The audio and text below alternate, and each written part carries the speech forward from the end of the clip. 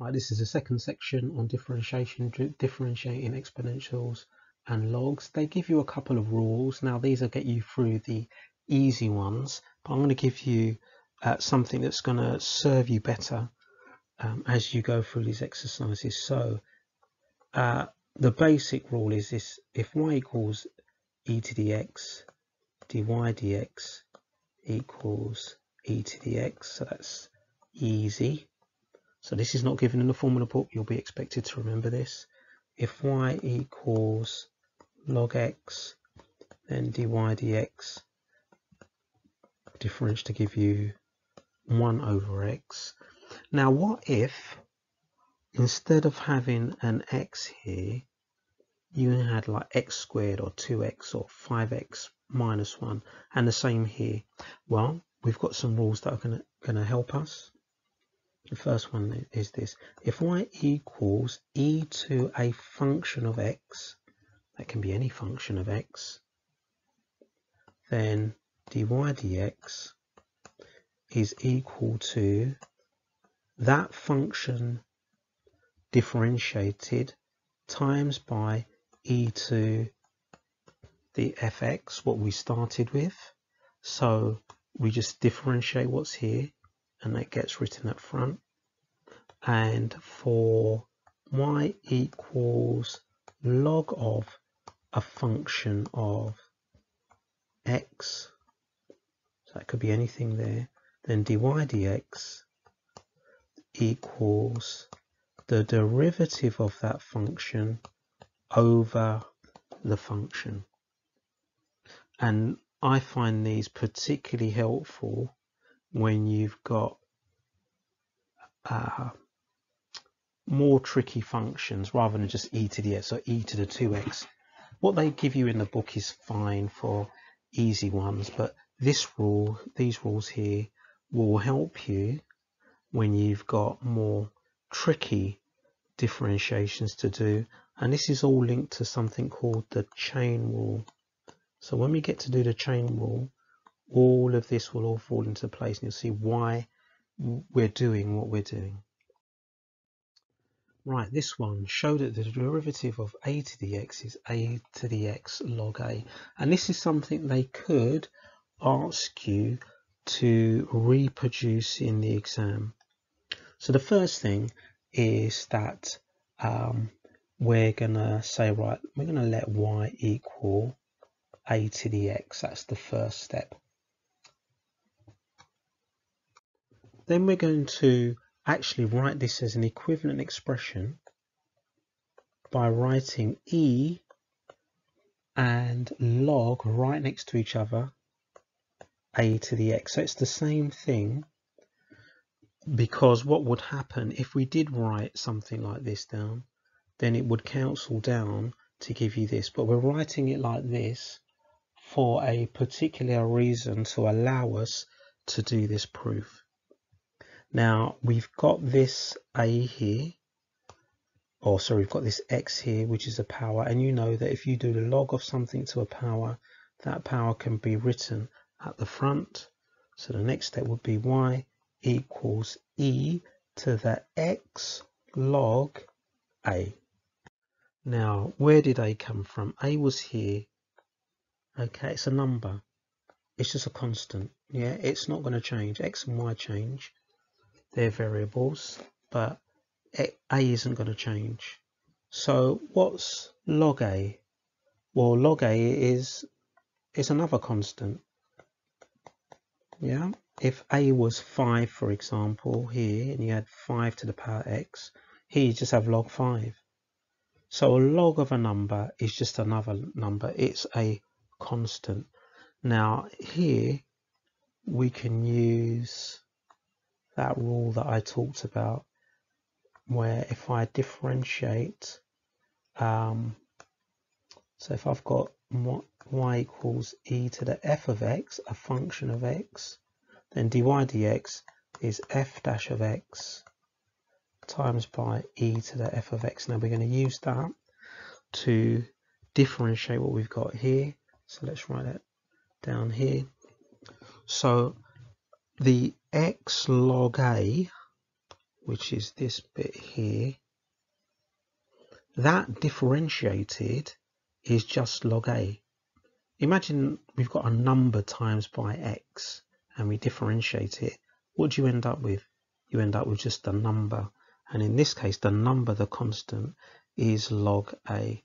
So dy dx will equal the constant log a. So this is like the f dash of x bit. That's like this bit times by e to the x log a. Now we're almost there. Uh, this x that's here, we're going to do the opposite to what we did at the in one of the first steps is we're going to move it to there as a power. So we have dy dx equals log a times by e to the log a to the x. And then finally, what happens is that this e and log cancel out, just leaving you with uh, dy dx equals log a times by a to the x, which is if we write it the other way around, a to the x log a q e d. So we've got some here that we need to do. Now we've already shown that if uh, y equals a to the x, then dy dx equals a to the x log a. What if this number here, or that's not just x, what if it was 2x or 3x or 4x or 5x or something different other than x? Well, there's there's an extension of that rule is this, and I'll, I'll show you how it works. So uh, if, for example, we had uh, y equals 3 uh, to the power uh, 5x, then dy dx that would be 3 to the 5x, so a is like 5, uh, the 3, and the 5 is like the k from this thing up here, yeah, it's like the k from that there, um, plus or times by log or times by 5 log 3. Yeah, so you can see this number here is like your A and your 5 is like your K. So you can see how we can apply uh, that rule. Right, let's uh, start with part A then.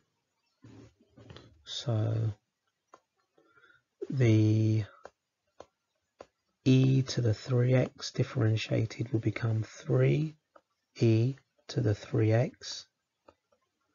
And this here, that's like the a, and the 3 is like the k in our rule. So it'll be plus, so it'll become a to the x, so it'll become 2 to the 3x, so notice that bit doesn't change, times by, now the k appears, which is 3, so that times by 3 log a, and a is 2. Now we could, if we wanted, move that and make it 2 cubed up there, um, but it's fine to leave it like that b. So log of x cubed. So in our rule for differentiating log, the x cubed is like the f of x. And remember, we said when we differentiate log, it's going to be like f dash of x over f of x. So f dash of x is 3x squared over f of x, which is x cubed. That can be simplified down in a moment. Plus uh, f dash of x over f of x. So this can actually be simplified. This is what dy dx equals. So if we simplify that, dy dx uh, will equal, well, 3x squared divided by x cubed. That will be 3 over x. Divide the top and the bottom by uh, x squared plus 7 over 7x becomes 1 over x. And we can uh, put those together can't we to give us 4 over x. So all of that just becomes 4 over x. And the last one c.